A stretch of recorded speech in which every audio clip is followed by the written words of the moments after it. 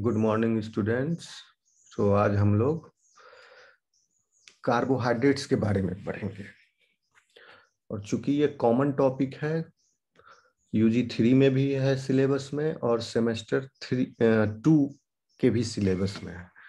Semester two के syllabus में थोड़ा डिटेल में है और यूजी थ्री के सिलेबस में उतना डिटेल में नहीं है। तो ठीक है, हम लोग पढ़ लेंगे इसको थोड़ा डिटेल में ही और दोनों क्लास के लिए ये काम आएगा। मेरी आवाज़ आ रही है आप लोगों तक?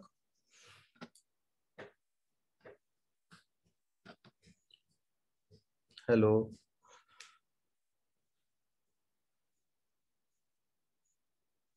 मेरी आवाज़ आ रही है? Yes sir sir yes sir आ रही है।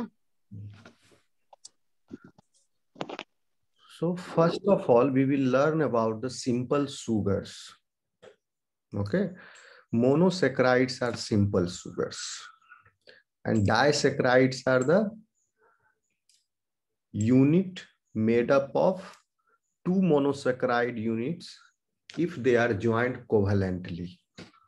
So we will see in detail about monosaccharide and disaccharides. उसके बाद हम लोग polysaccharides के बारे में पढ़ेंगे तो थोड़ा बहुत आप लोग जानते होंगे मोनोसेक्राइड्स एंड डाइसेक्राइड्स तो आप लोगों ने नाम सुना है? Yes sir okay yes sir mute कर लीजिए। जब नहीं बोलेंगे तो म्यूट कर लीजिए आप लोग। Yes sir now see what are carbohydrates carbohydrates are the most abundant biomolecules on earth. Protein nucleic acids these are also biomolecules. Fat. But the carbohydrate carbohydrates are the most abundant ones.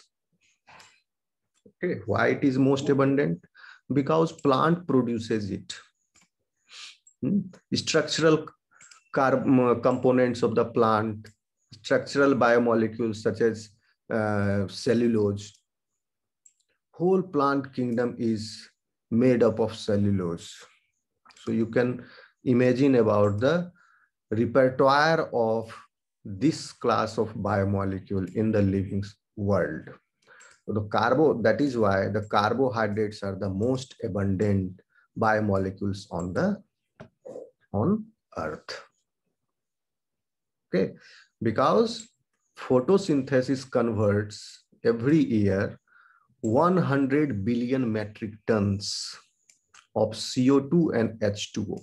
ये दोनों का combined weight है। 100 billion metric ton रफली जितना भी photosynthesis धरती पर हो रहा है, उसकी वजह से 100 बिलियन टन कार्बन डाइऑक्साइड और वाटर का क्या हो रहा है? ये फिक्स हो रहा है। कार्बन का फिक्सेशन हो रहा है। एटमोस्फेरिक कार्बन डाइऑक्साइड लिया and the water also the plant has taken from the ground by its roots and these two are these two compound क्या हो रहा है इसका यहाँ पर? इसका ऑक्सीडेशन हो रहा है। ओके सॉरी इसका रिडक्शन हो रहा है। हम्म? ताकि बाद में जब रिडक्शन होने के फलस्वरूप क्या हो रहा है? कार्बोहाइड्रेट प्रोड्यूस हो रहा है। Reduction of what CO two is happening in the process of photosynthesis तो रिडक्शन यानी addition of hydrogen atoms to carbon dioxide is happening at this stage of photosynthesis and the energy is coming from the sunlight.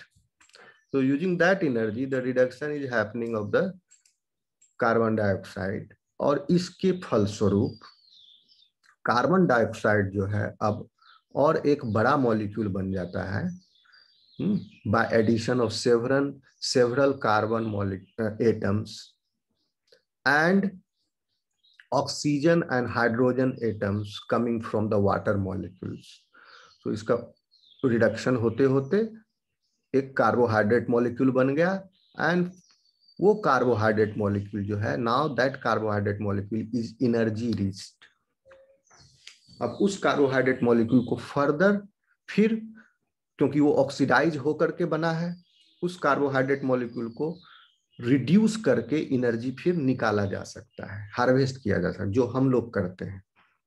Through food we intake these carbohydrates, molecules, and we digest it into the simpler form. ठीक है?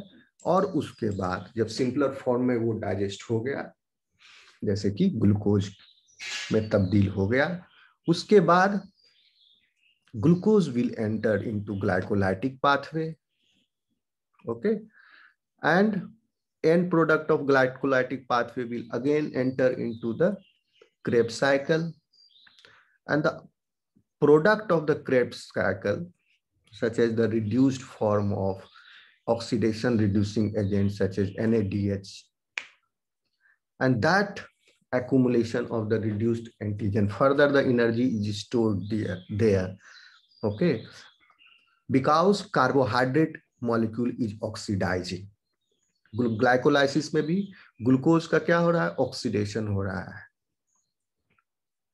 और oxidation होके pyruvate बन गया। Pyruvate का फिर क्या होगा? ऑक्सीडेशन होगा। फर्दर उसको ऑक्सीडाइज किया जा सकता है। जितना उसको चूस करके एनर्जी निकाला जा सकता है, यह सब पाथवे के द्वारा कार्बोहाइड्रेट मॉलिक्यूल से एनर्जी हार्वेस्ट किया जाता है। तो एक स्टेप ग्लाइकोलाइसिस है। ग्लाइकोलाइसिस में थ्री कार्बन कंपाउंड तक आ गया। फिर थ्री कार्बन कंपाउंड से वो फिर एक इंटरमीडिएट स्टेप है ग्लाइकोलाइसिस और क्रेप साइकिल के बीच में okay and that intermediate step is catalyzed by the enzyme pyruvate dehydrogenase complex okay तो वो पायरुवेट का फिर क्या होता है वहाँ पर? रिडक्शन होता है and one carbon dioxide molecule जो है वहाँ से निकल गया टू कार्बन कंपाउंड बच गया, और एसिटेट फॉर्म में by joining it with acetyl coenzyme A it enters the Krebs cycle और फिर वो एसिटाइल ग्रुप जो है जो कि एक्चुअली आ रहा कहाँ से रहा है? ग्लाइक ग्लूकोज से ओके okay, ग्लूकोज से आया पायरुवेट में पायरुवेट से पायरुवेट डिहाइड्रोजनेस कॉम्प्लेक्स के स्टेप पर एक कार्बन डाइऑक्साइड निकल गया दो कार्बन एटम बचे और वो दो कार्बन जो है फिर एंटर करते हैं क्रेब साइकिल में। और जहाँ पर भी एच प्लस एच प्लस का प्रोडक्शन होता है from the oxidized state that is N plus तो NaDH plus H plus is the reduced form जहाँ भी ये रिड्यूस्ड फॉर्म का प्रोडक्शन हुआ, वहाँ एक CO2 molecule is release out in Krebs cycle तो दो CO2 क्रेव साइकिल में निकल गया। तो अब क्या हुआ? कार्बन सारे निकल गए एक एक करके। और हमारे पास क्या हो रहा है? At the end of Krebs cycle also, we have the pool of the reduced oxidation reduction agent. Oxidation reduction agent क्या है? जैसे F A D N A D plus ये एन ए डी प्लस और और ये जब reduce होगा तो F A D H two बनेगा that is the reduced one और N A D plus oxidized state है। तो एन ए डी प्लस से N A D H plus H plus is the reduced form तो इस तरह करके reduced form सारे एक्यूमुलेट हो जाते हैं क्रेप साइकिल के अंत में और यही रिड्यूस्ड फॉर्म फिर आगे फर्दर जो है, यह रिड्यूस फॉर्म ऑक्सीडाइज होता है ऑक्सीडाइज होता है। तो जब यह ऑक्सीडाइज होता है तो यह किसी न किसी को फिर रिड्यूस करता है। ठीक है? तो रिडक्शन प्रोसेस फिर स्टार्ट होता है इलेक्ट्रॉन ट्रांसपोर्ट चेन में और वहाँ पर ये रिड्यूस्ड एजेंट्स जो हैं इलेक्ट्रॉन पेयर को ट्रांसफ़र कर देते हैं टू इट्स सुटेबल एक्सेप्टर ठीक है? Complex one complex two three four आपने नाम सुना होगा ओके कॉम्प्लेक्स वन में N A D H plus H plus जाकर के अपना इलेक्ट्रॉन पेयर देता है कॉम्प्लेक्स टू में एफ़ देता है और उसके बाद फिर इलेक्ट्रॉन कैरियर जो है, कुछ लिपिड सोल्यूबल इलेक्ट्रॉन कैरियर होते हैं, जैसे कि ubiquitin ubiquitin okay and there are some water soluble that is cytochrome तो ये जो है लिपिड प्लाज्मा मेम्ब्रेन में फिर इलेक्ट्रॉन एक्सेप्ट करते हैं, एक पेयर ऑफ़ इलेक्ट्रॉन किससे आया वो इलेक्ट्रॉन फिर रिड्यूसिंग एजेंट से आया। ओके ऑलरेडी जो रिड्यूस्ड एजेंट है that is H plus H plus वहाँ से एक इलेक्ट्रॉन पेयर ट्रांसफ़र हो गया इनटू द कॉम्प्लेक्स तो वो फिर ऑक्सीडाइज हो जाता है। एनएडी प्लस में कन्वर्ट हो गया और वो फिर चला जाएगा। क्रेप साइकिल से फिर इलेक्ट्रॉन पेयर फिर फर्दर फिर रिड्यूस होने के लिए और फिर वो इलेक्ट्रॉन को कैरी करता है, इसी तरह सटल करते रहेगा। और इलेक्ट्रॉन जब चला गया कॉम्प्लेक्स वन में तो electron will jump from one polypeptide to another polypeptide electronegativity जो है keeps on increasing so that the electron pair is received at one end by a higher electronegative molecule तो electronegativity बढ़ते जाता है, बढ़ते जाता है थ्रू द कॉम्प्लेक्सेस और जो लास्ट वाला जो कॉम्प्लेक्स फोर है, उसका substrate is oxygen oxygen is highly electronegative okay और वो सबसे ज़्यादा इलेक्ट्रोनिगेटिव है and that is the last acceptor of the electron that is oxygen उसके बाद फर्दर उसका रिडक्शन नहीं हो सकता है पूरा, पूरी तरीके से एनर्जी को हार्वेस्ट कर लिया गया इस इलेक्ट्रॉन के ट्रेवल करने की वजह से। ठीक है? तो ये इलेक्ट्रिसिटी की तरह हो गया, जैसे इलेक्ट्रॉन पास किया। तो जैसे इलेक्ट्रॉन पास करने की वजह से there are some mechanical changes also that that happens in these complexes complex one three and four में। तो जैसे ही ये ये फिर आगे इलेक्ट्रॉन को ट्रांसफ़र करता है साथ ही साथ ये प्रोटॉन को पंप आउट कर देता है। कहाँ पर? इनर माइट्रोकॉन्ड्रियल स्पेस में। मेरी आवाज़ आ रही है आप लोगों तक? यस सर जब इलेक्ट्रॉन ट्रांसफ़र होता है कॉम्प्लेक्स से तो साथ ही साथ चार एक पेयर ऑफ़ इलेक्ट्रॉन के बदले चार प्रोटॉन जो है मैट्रिक्स से चला जाता है। In the inner mitochondrial space sorry inter mitochondrial space में दो मेम्ब्रेन के स्पेस के बीच में। तो वहाँ से फिर इलेक्ट्रॉन प्रोटॉन तो इस वजह से क्या हुआ? वहाँ प्रोटॉन ग्रेडियंट जनरेट हो गया। दैट पॉजिटिव चार्ज आ गए। That is called as P side और मैट्रिक साइड जो है inner mitochondrial matrix that becomes negatively charge so that is called as N side so P side में अब proton का एक ग्रेडियंट एक पूल जनरेट हो गया. And N side is proton deficient so because of this again a potential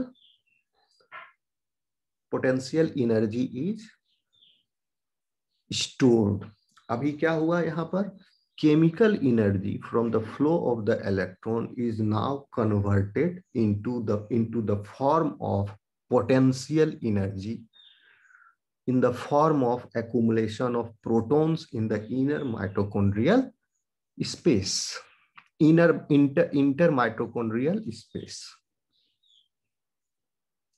Okay, so as a result of this, and this, this is a um, uh, accumulation of this potential uh, energy in the form of the accumulation of protons in that in that space what happens is complex 5 that is the ATP synthase F zero F one ATPH भी इसको बोलते हैं this complex that is complex five ATP synthase what it does it leaks the it allows the passage of proton there is a leak in that complex and through that leak only protons can pass Now the proton pass from that leak into the matrix again. So during this, this leak, as the proton passes, a mechanical energy, a mechanical force is generated and as a result of which polypeptides there in that F0 subunit, the, those polypeptides move and it creates a rotating axis. And as a result of which this rotation, the conformational change in polypeptide units in F1 subunit takes place. And as a result of that, synthesis of ATP takes place.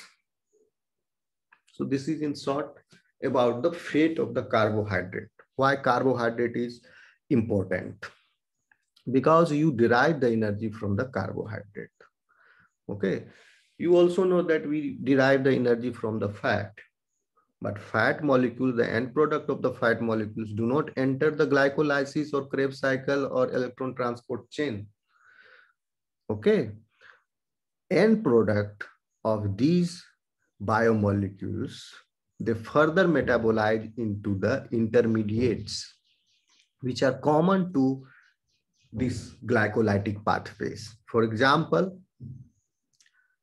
if carbohydrate intake of the person is not sufficient, then fat molecules will get converted into the acetyl coenzyme A and through that route, it will enter the glycolytic, uh, it will enter the Krebs cycle. Okay.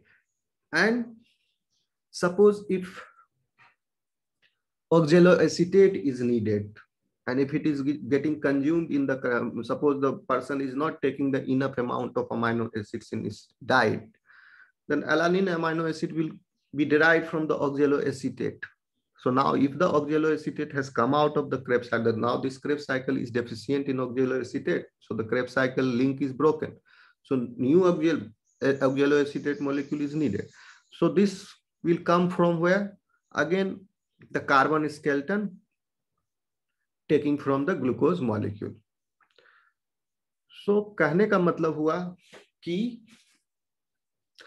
carbohydrate molecules are the central in the position. They provide the carbon skeleton for various. क्या कोई, कोई problem है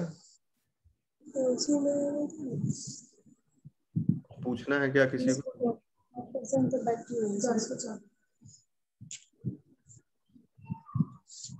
क्या बात है? कुछ पूछना है किसी को?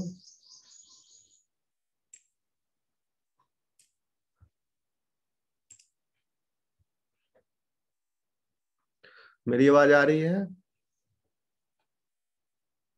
Yes sir yes sir yes sir yes sir okay so now see certain carbohydrates such as sugar and starch.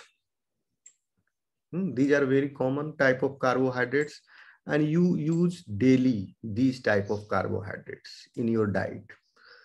Daily चाय पीते हो कुछ ना कुछ मीठा खाते हो ओके डेली चावल और आलू रोटी सब में स्टार्च होता है ये आप खाते ही हो are a dietary staple in most part of the world and the oxidation of carbohydrates is the central energy yielding pathway in most non photosynthetic cells. अभी हम लोग डिस्कस किए ही कि कैसे, क्योंकि इसका रिडक्शन हो रहा है। किसका रिडक्शन हो रहा है? CO2 का।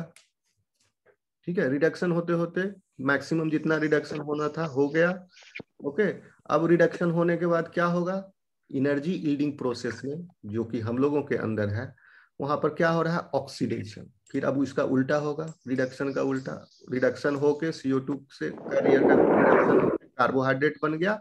और कार्बोहाइड्रेट का फिर ऑक्सीडेशन होगा तो क्या होगा? इनर्जी इल्डिंग इनर्जी का इल्ड होगा through the pathways in most non photosynthetic cells okay so carbohydrate carbohydrate polymers there are simple type of carbohydrate also and carbohydrate also exists in polymers.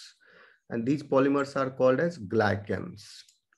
So many type of glycans are there that we will see in the polysaccharide chapter, the next section in the next class. Okay, so these basically these uh, polymer of the carbohydrate, they provide the structural and protective function to the cell. Hmm. So structural and protective elements in the cell walls of bacteria and plants and in the connective tissue of the animals. So these type of carbohydrates which provide structural and protective function to the cell are found in bacteria also, in plant and in animals also in the their connective tissue. These so glycan word जहाँ भी आए, आप समझ लेना कि ये carbohydrate का polymer है ग्लाइकन्स अब पेप्टिडोग्लाइकन अगर लिखा हुआ मिलेगा तो आप क्या समझोगे? कि प्रोटीन भी है and to the protein molecule carbohydrate polymer is attached so peptidoglycan okay मेरी बात आवाज़ आ रही है सब लोगों तक? Yes sir yes sir okay so other carbohydrate polymers अब देखिए कि कार्बोहाइड्रेट पॉलीमर का सिर्फ़ स्ट्रक्चरल एंड प्रोटेक्टिव फ़ंक्शन ही नहीं है। हम्म आगे हम लोग देखेंगे। अलग अलग तरह का भी फ़ंक्शन है। जैसे carbohydrate polymers they also lubricate the skeletal joints synovial fluid का नाम आपने सुना होगा। Synovial fluid is present between the joints ठीक है? ज्वाइंट्स के अलोंग फ्रिक्शन होता है तो उस फ्रिक्शन से टिश्यू डैमेज नहीं हो ओके सो उसके लिए एक लुब्रिकेटिंग एजेंट है and in that lubricating agent carbohydrate polymer is also produced and participate in recognition and adhesion between the cells. They also participate in signal transduction and adhesion, cell का cell cell cell tight junction. Complex carbohydrate polymers covalently attach to proteins and lipids act as signals that determine the intracellular destination और metabolic fate of this hybrid molecules and glycoconjugates कभी कभी carbohydrate जो है protein और lipid से भी attached हो सकता है। और वो कार्बोहाइड्रेट पॉलीमर के रूप में भी हो सकता है। यानी बहुत सारे carbohydrate units can be join to one together one another and together it can form with that lipid और protein molecule glyco glycoconjugate. And they act as signal also. How it acts as signal? Hmm? on protein molecules, in some protein molecules, I'm giving you one example, that the attachment of oligo, one oligomeric carbohydrate uh, species, particularly eight monosaccharide units joined together in length. Suppose it at the eighth position, mannose monosaccharide is there, then that glycoprotein will serve, this mannose will serve as signal for certain type of interactions. Suppose at the eighth position, instead of mannose, glucose is there. Then that will not serve as the signal for that type of the interaction. So so, कहने का मतलब ये हुआ कि lipid और protein पर भी बहुत सारे carbohydrate molecules they are joint together and they function as providing the signal or information also okay so that this also we will see And they also determine the intracellular destination or metabolic fate of these hybrid molecules. Okay, so they have the information. Okay, suppose you अगर याद हो आप लोगों को translation मैंने पढ़ाया होगा post translational modifications तो आप याद करो कि ग्लाइकोप्रोटीन्स का सिंथेसिस रफ एंडोप्लाज्मिक रेटिकुलम में हो रहा है। ठीक है? रफ एंडोप्लाज्मिक रेटिकुलम में जितना भी प्रोटीन का सिंथेसिस हो रहा है, सब ग्लाइकोप्रोटीन है। And essentially all glycoproteins are secretory in nature या ये कहिए कि secretory proteins are all glycoproteins तो आप कहोगे कि कैसे इसको सिक्रीशन होना है या मेम्ब्रेन पर even the membrane bound proteins are also glycoproteins mean these proteins are also having the carbohydrate moieties attached to it. And the cytoplasmic proteins hmm, they are they can be glycoprotein and non-glycoprotein also okay cytoplasmic. So how these proteins get this information that they have to get incorporated into the cell surface or they will get secreted or they will get internalized inside the cell for its own use hmm. so these informations are there in the in the carbohydrate molecules the combination of monosaccharide units joined together, they provide the information. Suppose, for example, glucose, glucose, mannose, if this type of repeat is there, then the protein will get attached to the cell surface. Suppose if glucose, glucose, galactose repeats are there, then the protein will get secreted or, or it will get attached to some other organelles. Because inside the cell, cell organelles like mitochondria, chloroplast, nucleus, they also have the surface molecule, protein molecule. So these protein molecules, which will be expressed on the surface, they are glycoproteins. And some of these glycoproteins will expressed on the plasma membrane, some will be expressed on the nuclear membrane, some will be on the mm, Golgi vesicles, and other type of or mitochondrial membrane proteins can also be there. So other type of proteins, all these membrane bound proteins, they have different, different functions in these different, different membranes.